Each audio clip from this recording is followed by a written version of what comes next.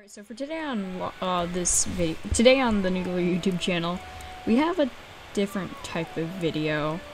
Uh, you'll see what I mean later. So I asked you guys in the Discord a while ago to send me your locker numbers so I can review them. That's kind of what we're going to be doing today. Uh, sorry for the low enthusiasm voice. Uh, it's late for me right now, so I gotta kind of talk into my mic. But um, I hope you enjoyed nonetheless. First locker is uh, 649 floor 1. Okay.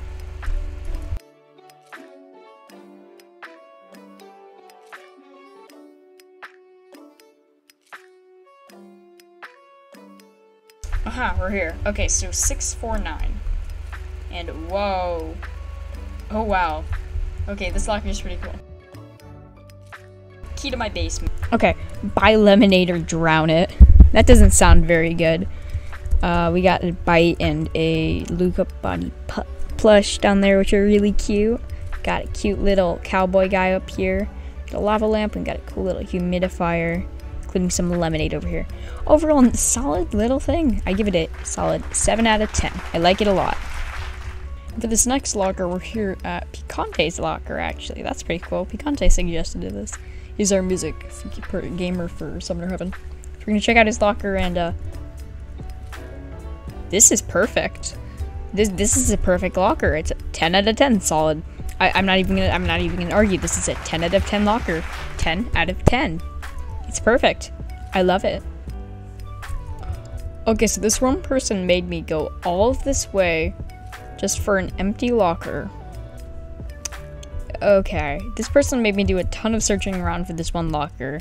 And when I actually get to it, it's not even a locker. It's literally just a blank locker. They made me go on a wild goose chase. Whatever, I give this locker a 0 out of 10 for making me do that. And I'm going to shove myself in the... I said I'm going to shove myself in the locker. Just let me, let me in here at this point, honestly. Let me in. Let me in. Okay, and for the final locker, we're going to be doing this totally stranger, I don't know who they are, locker. Let's take a look at this. Oh, wow. There's a lot to this.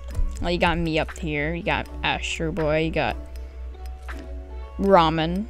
You got a cool little ice cube from BFDI. You got some keys.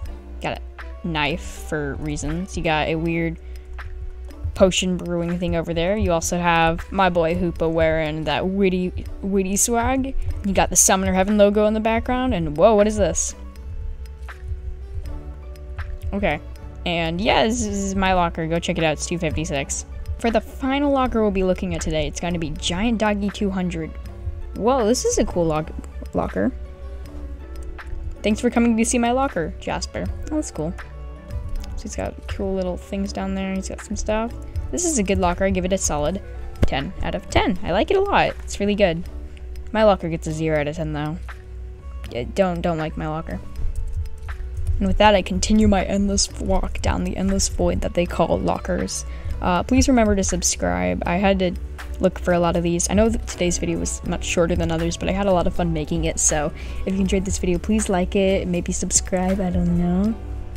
I don't know. Uh, I might do a part two if more people suggest more lockers. And I'll see you guys later. Uh, bye, guys.